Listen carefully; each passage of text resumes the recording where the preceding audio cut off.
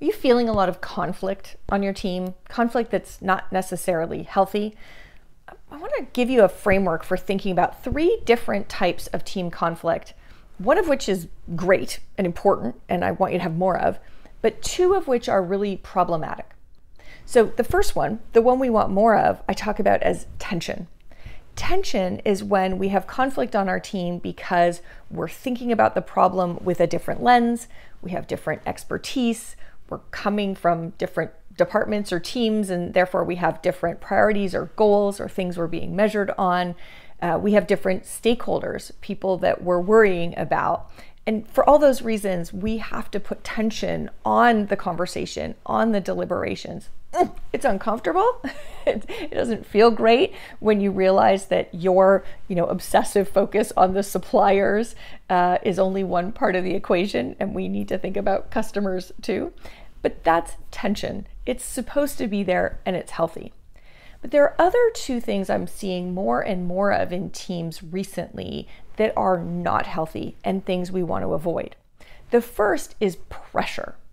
And pressure is a situation where there's a conflict, but it's one directional and there's no forum in which to actually you know go back and forth or, or, come to a workable solution. Pressure tends to come from one direction. It's just you must do this. And if you don't do this uh, you know you won't be successful. You will be in trouble so pressure comes in the form of uh, you know a ceo saying it has to be this with no place to say that's not actually workable or achievable. It comes from one department in an organization having all the clout and all the influence and you know deciding on how something will be without creating any input. And then all of a sudden it's just you have to deliver this thing probably in some completely unrealistic timeline. So pressure is half of the tension equation.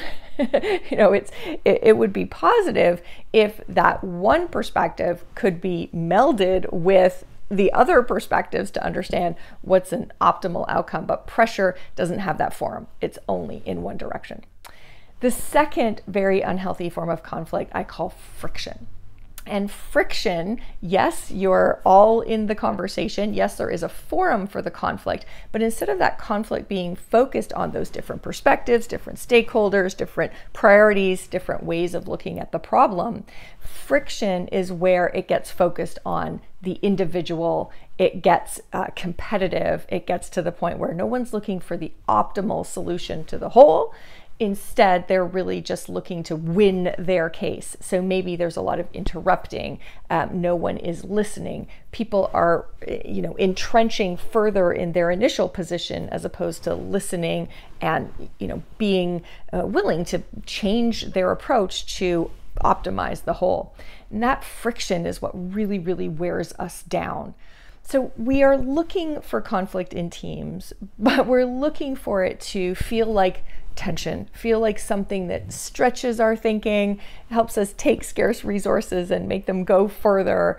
And yes, it's uncomfortable, but it is something necessary and healthy compared to pressure, which is, you know, conflict without an actual healthy forum or friction where you know you have the forum but you're not using it to get to the best answer.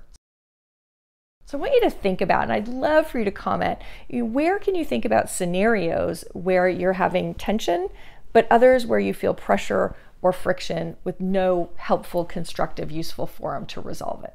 Okay, more on how to resolve some of those conflicts on your team right here.